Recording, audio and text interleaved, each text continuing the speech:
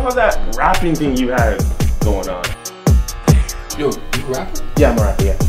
Occasionally. Give him a week or two and he gonna quit again.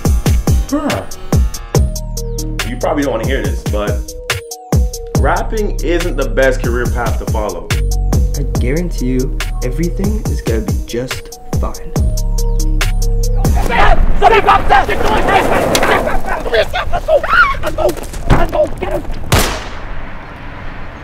I didn't see that coming.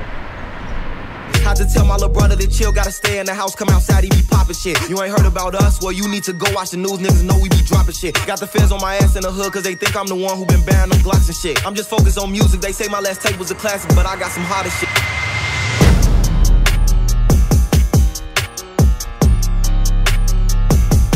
I'm gonna hotbox the shit out of that bathroom. I've never actually smoked marijuana before. Never smoked? I mean, I tried catnip once, but I don't know if that really counts. My mom was super mad at me. It was this whole big thing in my house. Nobody talked to each other for like three days. Uh, okay.